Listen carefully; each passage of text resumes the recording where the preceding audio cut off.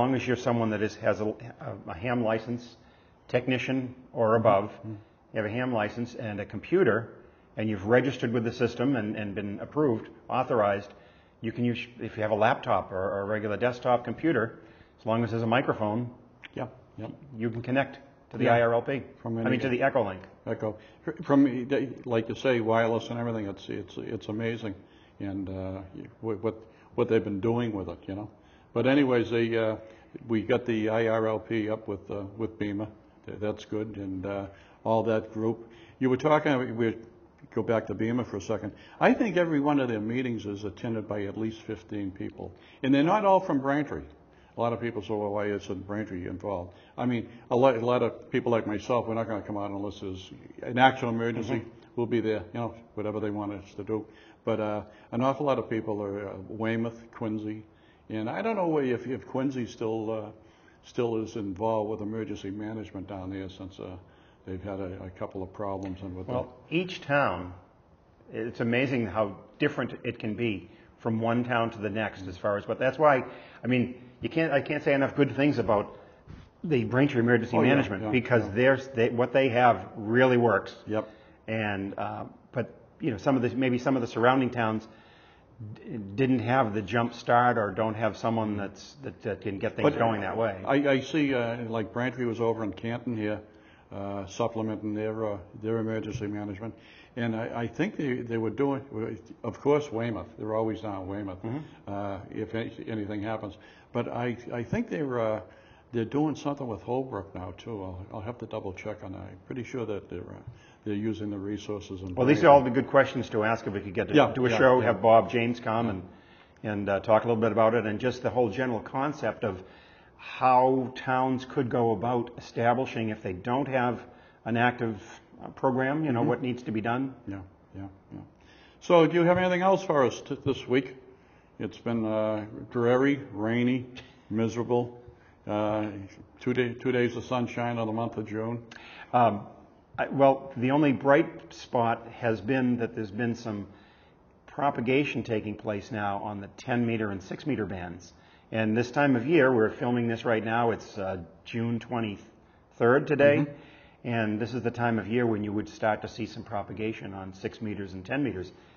Whether it's at the peak of the sunspot cycle or not, it's all, it always happens right around the summer Have you been working six? Yes, yes. Yeah. And there's been some European stations coming through. I mean, we're here on the East Coast, and we're, if the band does open up, sometimes we're able to do that. I, uh, I, I haven't, I made one or two contacts on six. I really don't, you know, I should throw it up another element for six on the, on the. Well, it's just, it's a band that you need to just be on. Yeah, And and- monitor, and, and, and- uh, and all of a sudden, I, I'm, it happens. I'm monitoring the, the cluster, and like just like when I say to you, uh, I see Europe coming in, and I see it going over us, and then I'll, I'll see the Pacific coming into uh, the, Midwest or maybe California stuff like that. But 10, 10 has been, matter 10 of fact, has been great. 10 has been so wild. I've been getting SASEs for the state, and I haven't been asking. That's funny. Yeah, because uh, yeah, 10, 10 down south, and uh, it's just uh, it's incredible.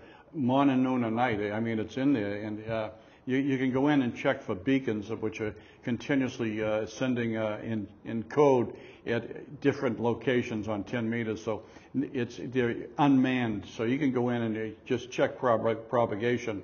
And it's it's 10 has been wild. A lot of times I'll monitor some of the frequencies, because there is a nice published list, and you can just go right, tune your radio right along and, and set it on any one of the frequencies, and just leave it there. And then, you know, maybe for two or three hours you hear nothing, and then all of a sudden you'll start to hear something come up out of the noise, and Mm-hmm. you can hear it, and the- then they might, might even start to, you know, the signal might even come up to half scale on your on the S meter.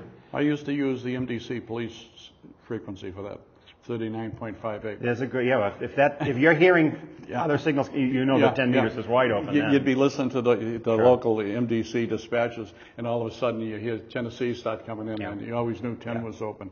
Uh, I, I noticed a- an awful lot of activity on uh, 28.3, 28.5 for, uh, on, the- on the lower end of 10 meters. Uh, The 1010 International is still operating, I think, as their main frequency 28800, which uh, same as Cape does uh, Monday nights.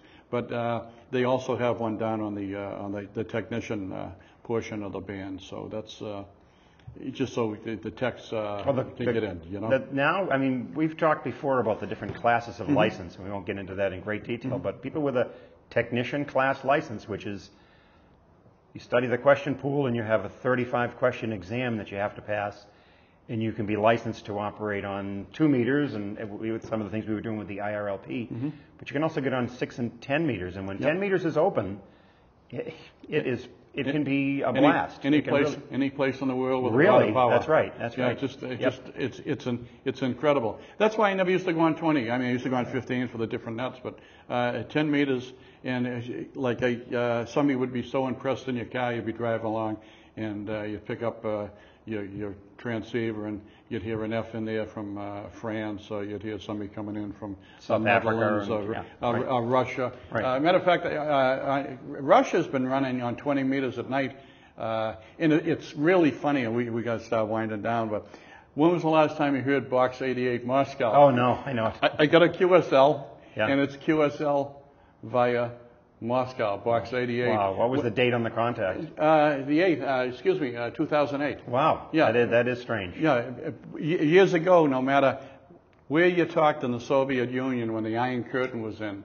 it was just reports, you know, you're five nine and whatever. You didn't get into any kind of real Boris, dialogue. yeah, Yep. right, yeah, you it, just left right, it alone yeah. because they were always being monitored.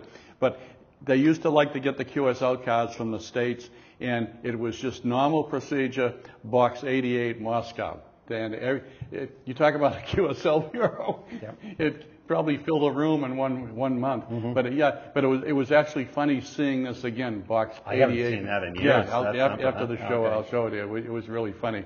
Well, that's that's about it on my end. If you have anything else, uh, No, that's- uh, anybody that wants to get in, in touch with us, uh, find out uh, about coming down to the Watson, or just drop in any Saturday, uh, 85 Quincy Avenue.